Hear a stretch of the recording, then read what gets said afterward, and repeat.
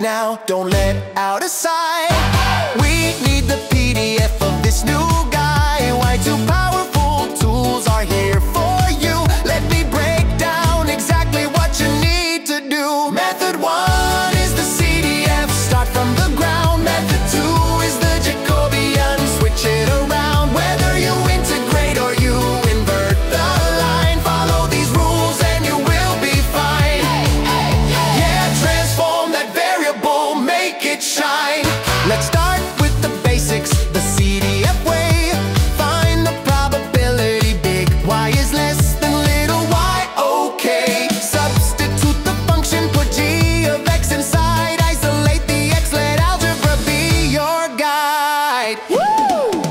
Once you have the cumulative big F of y There is just one more thing that you have to apply. Differentiate. Take the derivative with respect to y And there is your PDF Simple and dry. Method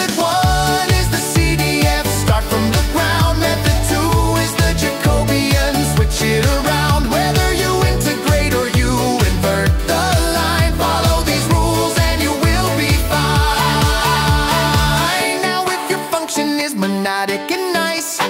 Strictly increasing or decreasing That is the price. Use the change of variables Quick as a flash. Find the inverse function. Make a dash. Write x in terms of y That is g inverse. Then take the derivative. It could be worse But here is the secret The most vital part. Absolute value of the Jacobian Take it to heart